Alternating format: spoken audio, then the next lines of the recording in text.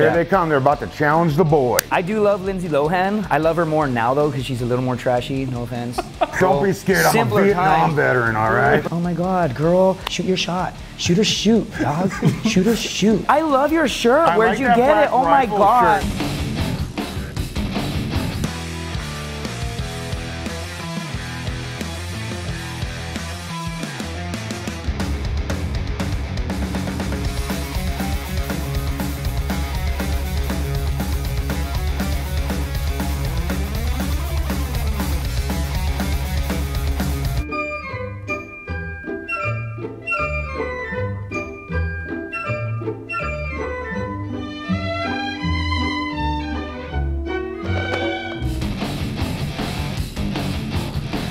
Welcome to Black Rifle Coffee's Veterans React. I'm Richard Ryan, and today I'm joined by Justin Governale and Jack, Manford, Mandaville the first. Sorry. Well, this is going to be a fun one because this is going to be Marines react to chick flicks.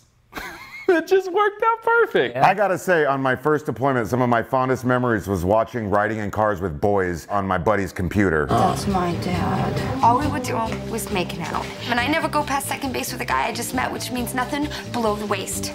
Literally took me out of where I'm at. Then we got in a firefight. I also remember uh, in Iraq, the first time I was there, we had one small TV for a whole platoon, and we don't have any movies unless they send them to us. And they sent The Notebook. You I if you haven't live paid any attention to anything that's been happening. I guess city. not. I think I must have misread all of those signals. I signals. guess you did. And when somebody said, "You guys want to watch, you know, this or The Notebook?" and then I'm like, "What's The Notebook?" and everybody just turned and they looked at me like. You tell me when I'm being an arrogant son of a bitch, and I tell you when you're being a pain in the ass. They forced me to watch it on our day off, and then we're done. They turn the lights on, and like three Marines are like legitimately crying, like tear running down their face. I'm like, what? Rachel McAdams has that effect on people, you know? Yeah. I want all of you forever.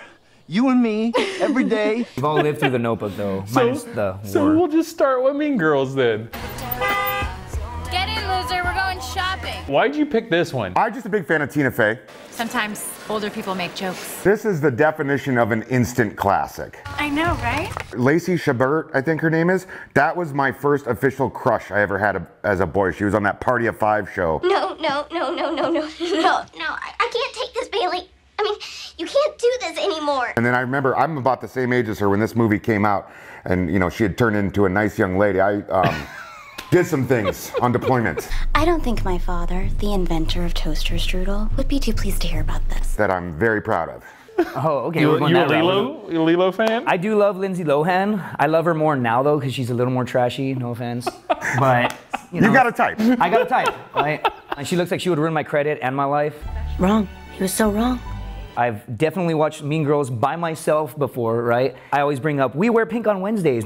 On Wednesdays, we wear pink. And they're like, haha, how do you know that line? I'm like, nah, everyone knows that line. I think, the, I think the power of this movie is that any male who's ever had a sister or just gone to high school, they can't necessarily relate to it from a female perspective, but they've witnessed it themselves. Yeah. Like everybody recognizes this kind of behavior. Katie, do you even know who sings this? Um, the Spice Girls? I love her. She's like a Martian. like girls will say, I like oh, your no, shirt. don't take this as an opportunity to Yeah. trash talk me. Uh, I, I mean, yeah. Girls will be like, I saw you s- just yeah, I looked up scoping and me out. down, Yeah. bit my lip, you know. No, they're like, I love your skirt. Where did you get it? I love your shirt. I Where'd like you get Black it? Oh my god. shirt. Uh, it was my mom's in the 80s. It's very Black vintage. Rifle, love Black Rifle. Vintage. So adorable. I'm gonna turn That's around and be like, I old hate, shirts. I hate Black Rifle. That is the ugliest effing skirt I've ever seen. Amy Poehler, Happy hour is from 4 to 6. again, Yeah, a comedic genius. Is there alcohol in this? oh, God, honey, no. What kind of mother do you think I am? Why do you want a little bit? This is one of those movies too you can watch over and over and over and over and over and over and over and over and over and over and over and Ew. Over and over why, and why is your saliva so milky? Sorry, I got some CTE from the war. Oh my god, I remember this. Ugh, I haven't looked at that in forever. Here, check it out, Katie. It's our burn book. Dude, a burn book. Imagine they made one of these in today's day and age with cancel culture. I think that's the whole point of a burn book is to cancel classmates you don't like, right? What is the burn book? So we cut out girls' pictures from the yearbook, and then we wrote comments. Trang Pak is a grotesque little biatch. Still true. It's them talking shit about all their classmates and everything like that. Yeah. Janis Ian Dyke. And then what's going to happen is Regina's going to find Regina's the she's the one pushing the burn book. That's funny. Put that in there. Oh no. And then one of the other girls find out she, that girl right there, the goth chick, you're probably into her, finds out she's in the burn book, Those bitches. Will this minimize my pores? No. and it just creates chaos. Okay. Classic Mean Girl. But again, imagine in today's day and age where you have to accept everybody for what they are. Because it's nice to do. Yeah, just being Yeah. inclusive is Wait. nice. Damn, you are so lucky you have us to guide you. Uh, who's that? Is that Rachel McAdams? Rachel McAdams. Yeah. In girl world, Halloween is the one night a year when a girl can dress like a total slut and no other girls can say anything about it. You all have got to stop calling each other sluts and whores. It just makes it okay for guys to call you sluts and whores. Dude, all of them though. Look at this. Dude, ima- her 18, where was she at when I was in high school? And her, and everyone at this party. No one told me about the slut rule, so I showed up like this. And her. I don't ever even recall having Halloween parties. Hey! Why are you dressed so scary? It's Halloween. like Oh, that when I was in high school. Dude. well, you're from a border town. Bro, you partied your ass from- off before you I'm were from 12. Mexico, or I'm from Laredo, Texas, right? And I used to be like, "Bye, mom. I'll be back. I'm going to so and so's house," and I would legitimately walk across to the Mexican border, and I'd be in Mexico, like, "Hey, primo, uh, bucanas y, y soda," and they're like, Love it. Can I get you something to drink? dude, ordering like. Why did you puff your chest out? Because that's Hispanic, bro. Hey, primo, ¿qué onda, primo? That means Buchanan's and Also, I'm Coke. 5'5", dude. Like, let's be real here, dude. That's why I puffed my chest out, dude. Really? 15, dude, ordering drinks. Boom, getting hammered. What? This has nothing to do with Gretchen Nothing Wiener. to do with nothing to do with them. This was it. Regina said she would talk to Aaron for me, and now she was. Oh, he was a dreamy boy, dude, that everybody wanted. Who's that? That dude. I'm not gay, but like if I were, I guess I'd do him. If he's over 18. How could Janis hate Regina? She was such a good slut! Dude, I love all of them. I seriously would have dated all of them.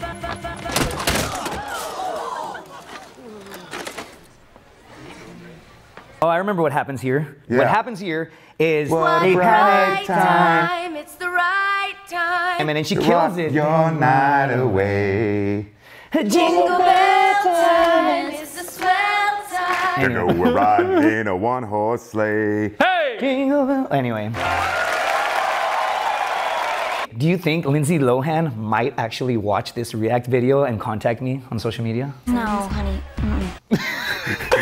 I would love, love- to. I would handle. love to. Lindsay, I- what's your take, handle? Take that as a challenge. At Everybody. Justin Governale, please share, tag her in the comments, right? Lindsay Lohan, I want to take you to the Marine Corps ball. Look how red she is. You love him, and he totally complimented you. It's one of those movies you can watch over and over and over and oh, over Oh, and go, over and Well, over. why'd you pick now and then? Oh, okay. When I first discovered pot when I was 15 years old, I went all in. And I spent an entire summer inside my parents' garage on a couch watching the VHS of Now and Then and getting high. Gross. He's always picking his nose and eating his boogers. So this movie just has a lot of nostalgic memories for me, which the movie is about nostalgia. It's about looking back in your childhood and remembering a more simple time. Red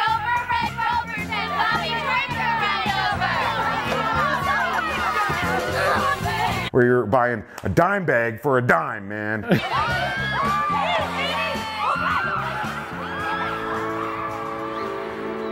and all these young ladies, Thora Birch is still working. She was in uh, American Beauty. You want to see the most beautiful thing I've ever filmed? Christina Ricci, she's still mm. knocking out of the park doing goth girl films. Young lady in the pigtails had a heroin overdose. What? Yeah, What is the movie about entirely? it's basically Stand By Me for girls. Let's find out how he died. Oh, okay. And uh, it's really great when you're high. The suspicious lack of details surrounding Dear Johnny's death led us to the one person we knew could help us find out more. Janeane Garofalo. Oh, I remember her. Was she a comedian? Yes. We need your help. Yeah, it's just one of those throwback to the 60s, a simpler time. We want to find out how he died.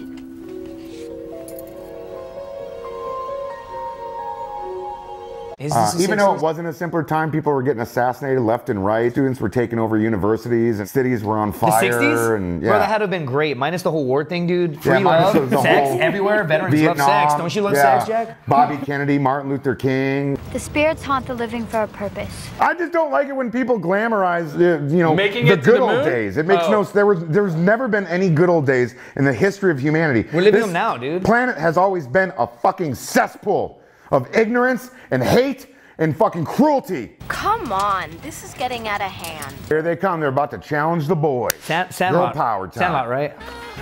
Okay, come on, Roberta, you can do it. Run, Mama steps up to the plate. Is that a simpler time for you where girls weren't allowed to go play baseball with the boys? Come on, Roberta. Touchdown. Was she snorting the pixie sticks? He's got game, dude. Hello, dear.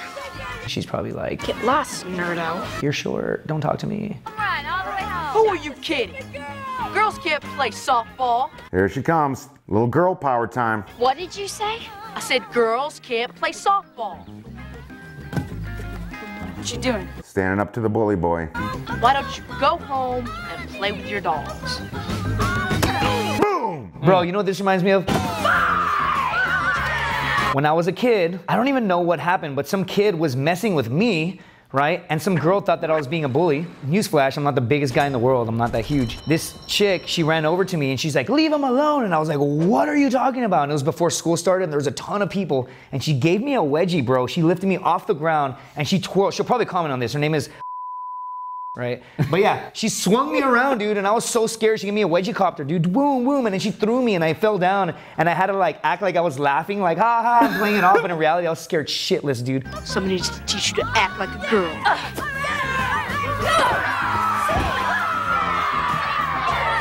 In every 90s nostalgia movie, there's always got to be the hitchhiker.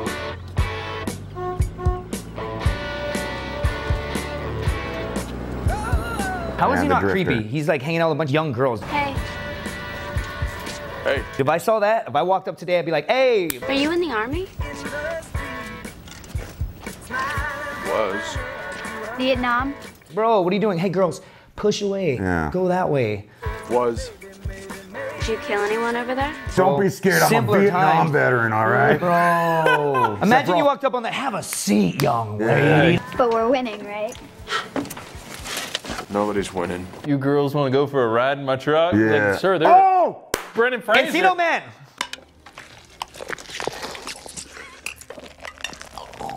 So, Stanley, how's your mother? He's giving them cigarettes. You piece of shit. I was 11 when I smoked my first cigarette.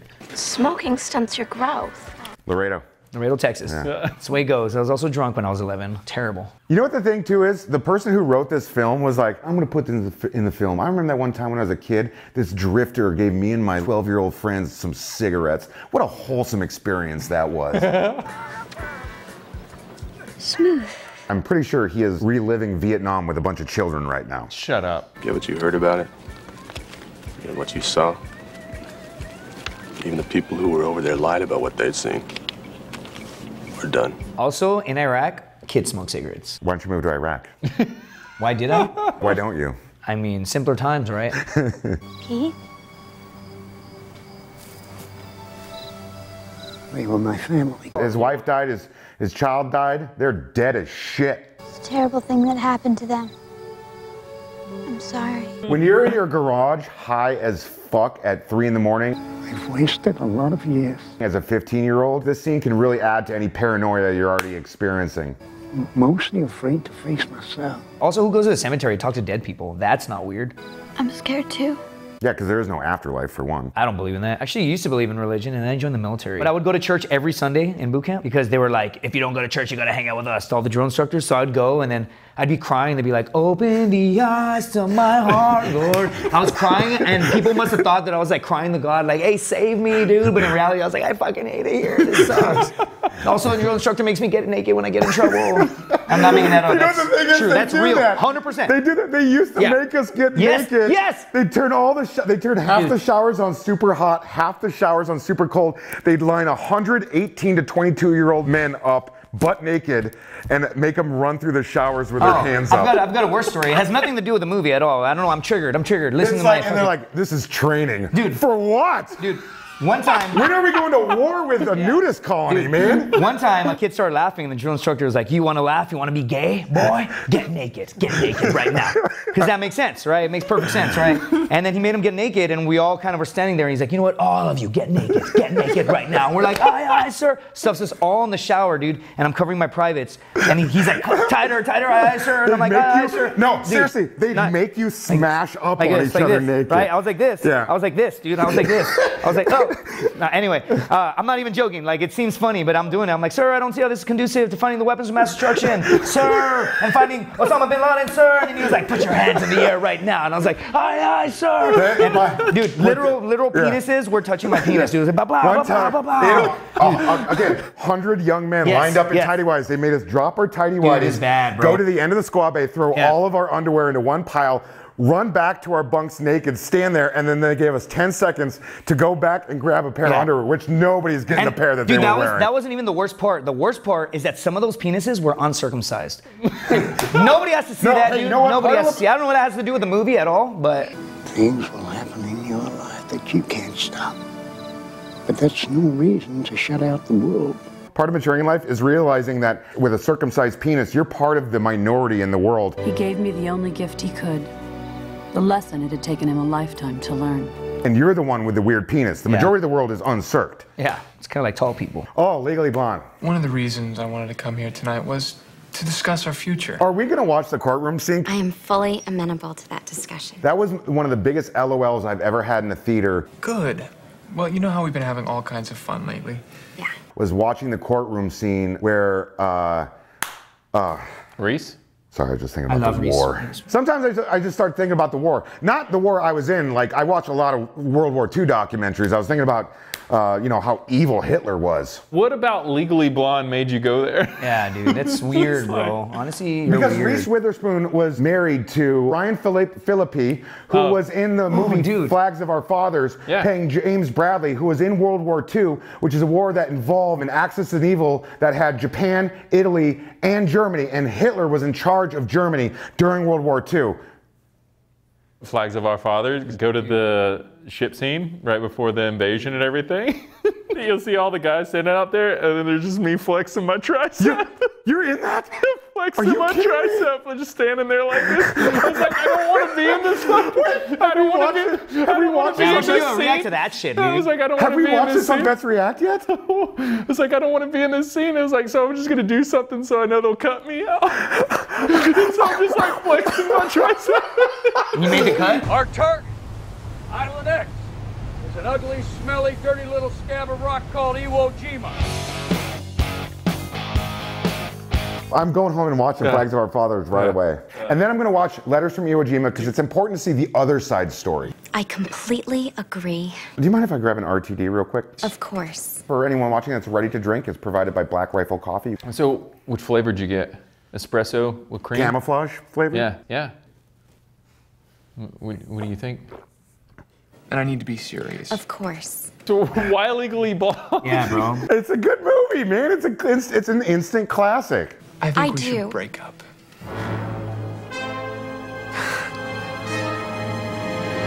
What? And Reese Witherspoon is she is such a great actress that she can play this total ditz of a, a, a character when you know she's a classy Yeah, lady. she graduated from Harvard, actually. yeah, she's a smart Nah, nah, smart I made woman. that up. She was Idiot. smart enough to divorce that fool Ryan Phillippe. I swear, they, they used to say that I looked like him and Justin Timberlake. I just need time to sort things out in myself. And I'd be like, no, I don't. They're so they're so dumb. And like, you know, in the 90s, he's like, he's so gay. And then I would like bleach my hair and I would put like the little curls in the front. Oh, hi. My name is Elle Woods. Oh, this is great right here, the video essay. I'm going to tell all of you at Harvard why I'm going to make an amazing lawyer. The most brilliant part is, hey, she met all the qualifications to get into Harvard, which is having rich parents. Law school? It's a perfectly respectable place, Daddy. Dude, I love her too. I feel comfortable using legal jargon in everyday life. I object. Jennifer Coolidge, uh, again, tremendously talented woman. I've got a package. He's got a package. She wants him. Is that Mel Gib- that's Mel Gibson, isn't it? Mel Gibson and Luke Yeah. Perry's child. How you doing today? Fine. Take it easy. Oh my God, girl, how did you not hit on him? I don't know how. I'm scared. I'm scared. How do I pick up? Oh my God, it's easy, bitch. Oh my God, bitch. Oh, come on, what's the point? Listen, shoot your shot. Shoot or shoot, dog. shoot or shoot. Shoot or shoot, bitch. No, they don't. No, they don't. Yes, they do, bitch. Yes, they do. Trust me. Listen, listen. I'm gonna show you the bend and snap technique, bitch. Bend and snap. I think I dropped something on the floor that I need to pick up. So you bend and snap. Dude, imagine girls really did this kind of stuff to pick you up. Instead, they just like play hard to get, like follow restraining orders, call the cops and shit. You know, fucking hate that. Change their numbers, witness protection programs. Like, dude, stop playing hard to get, girls. Good job, everybody. Oh, I love this. Okay, bye.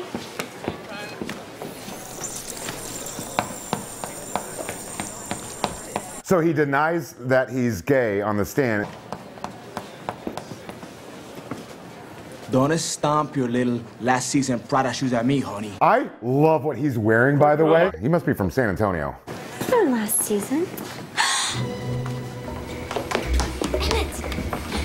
He's gay. Oh, he denies being gay, and this is when it comes out. Gay men know designers. Straight men don't. Know what? He did leave a shared tape in the pool house one time. What movie did that girl come out in that was next to her? Do you have any proof that you and Mrs. Windham were having an affair? Only the love in my heart. Oh yeah, she was in Varsity Blues, right? Mm-hmm. Uh, Allie. What are they saying? And how long have you been sleeping with Mrs. Windham? Three months. And your boyfriend's name is Chuck. Right. Okay. Guilty. Okay. Okay, thanks. Silence. Pardon, pardon me, pardon me. I, Yes, Mr. Salvatore. I, I was, uh, I was con- confused. Oh, okay, okay. Listen, listen to her. I thought you said friend. Chuck is just a friend. Oh, okay. You bitch! They would never write a scene like that these days because it's not a real good was- it was- representation of people. Okay. All right, well, thanks, Jack, Justin, for coming out today. And if there's anything that you guys want to want us to watch or react to in future episodes, leave a comment below. And uh, Jack, why don't you tell everyone what you got going on with Coffee or Die magazine? I have a little advice column in Coffee or Die. Uh, you'll find me on the last page. There's a reason why they put me there. And uh, yeah, I'm just doing uh, doing my normal hood rat shit with Mr. Jarred Taylor and doing these fun vets reacts with you. And and I go into the office about twice a week just to make it look like you know like I'm working. and, Collecting that Yeah. paycheck, yeah. And if you're just Google searching Black Rifle Coffee, chances are you'll be retargeted by this man here Yeah. in our marketing department. Or if you get a video on YouTube and you're cruising YouTube, click the video and also buy stuff because I make those. We're, I make we're not encouraging clicking I make, on click on it, click on it, please. Molly, if you're watching, please. I, I, I promise. I, I, I worked really hard, Molly. We'll see you guys next time. Thanks.